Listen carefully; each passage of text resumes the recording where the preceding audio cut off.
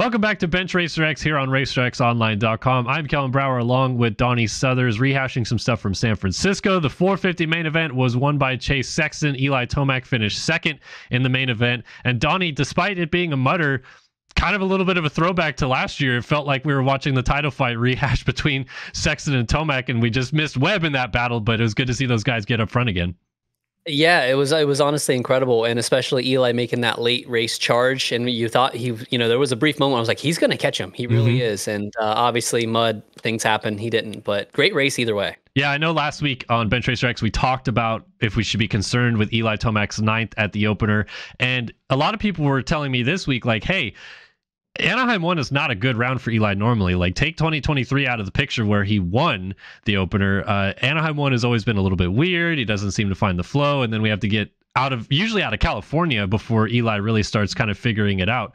Um, so how nice is it, I guess, from your perspective, to see Eli find his way onto the podium already and kind of rebound from a weirdo night at the opener?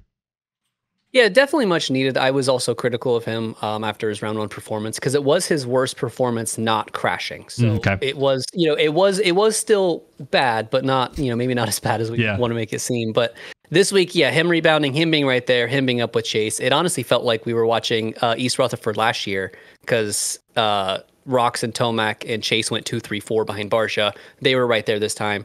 Those guys, super underrated mud riders. So definitely much needed to have him back up front. Yeah, so Chase Sexton gets the win, and what we're going to talk about in this episode today is how both Chase and Eli coming into San Francisco uh, sung a lot of the praises of their team, Red Bull KTM and Monster Energy All Star Racing, for the work that they put in between Anaheim and San Francisco. That they both felt that they were going to do a lot better, regardless of if it was muddy or dry in San Francisco. It obviously is muddy. Chase said um, after the race that um, he has to give a huge shout out to the team. They put in so much effort and hard work to get me to where I need to be. I was a bit disappointed that this round was a mudder as the progress we made from this week to last is pretty crazy, but I'm stoked to get a win for the team and it feels great to deliver this result. Um, so, you know, gets third at the opener, wins the second round, but how excited are you, Donnie, that, you know, it sounds like Chase has already kind of figured a lot of stuff out with KTM. We're a month removed from things being maybe like panic button for the team to now they feel like they're in a great spot, whether it's dry or wet. Yeah, yeah. So Chase said in the press conference that when he first got on the bike, he thought they were going to be fighting to get tenth, which I was shocked he said that out loud. You know, I know he won this week, but I was like, that's that's crazy thing to actually say. But it's also incredible that he thinks they made so much ground when he was on the podium last week. It wasn't like he had a bad round like Eli. I know he snuck in because of Webb's crash, but still he was fourth, thinking that he had that he's made up so much ground from his fourth. So I'm really, really excited to see what he brings to San Diego. Yeah, and on the flip side, Jett Lawrence, who wins the opening round, has a so-so second round. He de- he never really looked comfortable all day in the mud, which I, I thought kind of stood out to me as odd for Jett because he's I don't know, technically very sound, so you'd think he'd be uh, quite good in the mud. And he's won some mud races, like outdoors and stuff like that. Um, but he had to say after the race, nothing too exciting to talk about in the main event. We're just happy to get out of here with some points.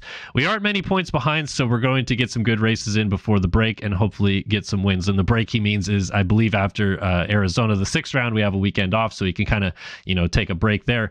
But, um, you know, for your sake, Jett doesn't have a good round, but still is second in points and is not that far off from a points perspective.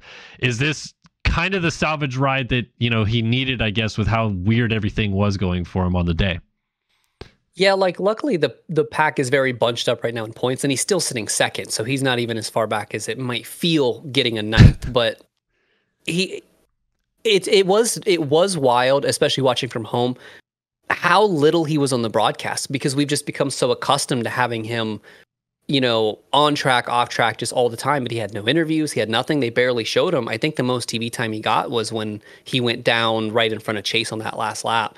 So it was just such an odd experience in contrast to what we've seen Jett do for the last three years.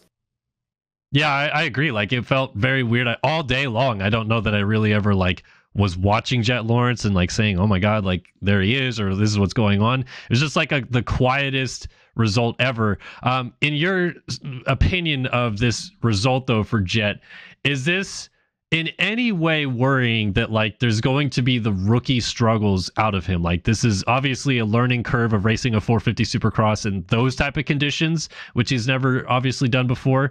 Um, so it's it, it obviously could just be a wash away but it is still something that he had to experience for the first time and he's going to keep having moments like that where he runs into things that he's never had to deal with before all year long. So what what do you think about that perspective yeah, 100%. I think he's happy that he's hopefully gotten it out of the way early in the year. A lot of people forget just how hard it is to race 17 rounds in a row for your first time. Ferrandis, uh, and was that 2020, 2021, was mm-hmm. the first guy in almost a decade that actually finished all 17 rounds. Yeah. So I think that he knows, and, and him and Hunter have talked about taking a page out of Eli's book of like, just ride smart, you know, live to fight another day, take those salvage rounds when you can so I think he's walking out of here, you know, a handful of points down still in second, and he has not, you know, no sweat off his back. Yeah. So now we're at a point where Chase Sexton is really the only guy that's had more or less two like good results. He's got on the podium twice.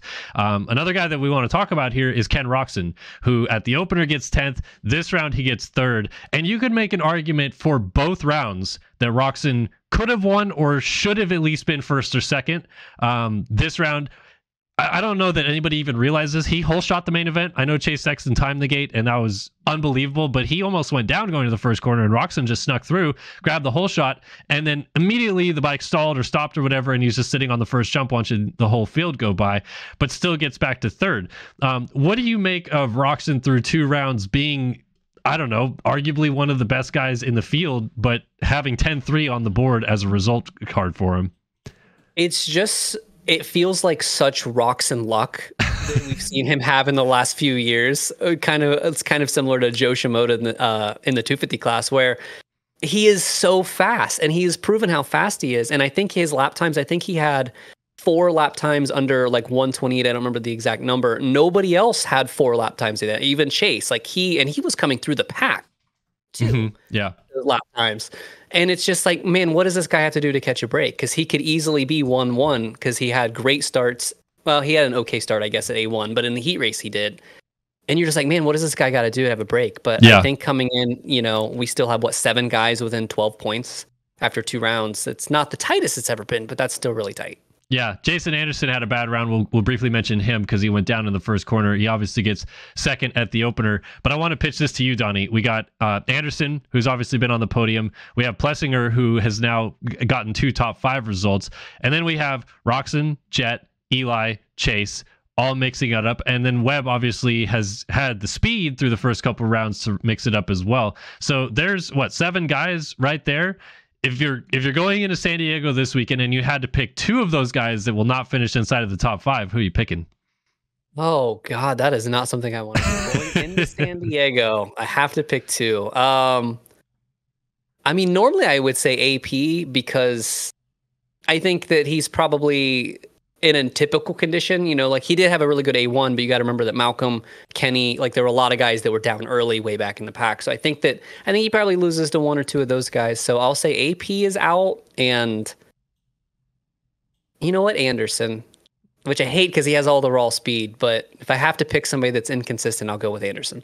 Yeah. Well, and my hope of it, I hope they go one two this weekend and really just throw a curveball at everybody. How, how cool would that be if they? That would be incredible. yeah. and then we have a real series heading into the second Anaheim uh, in two weeks' time. Well, that is going to do it for us on this episode of Bench Racer X, highlighting some of the podium figures from the 450 main event at San Francisco. Donnie, thank you so much for joining me today, and thank you guys all for tuning in. Be sure to head over to RacerXOnline.com for all your motocross and Supercross news.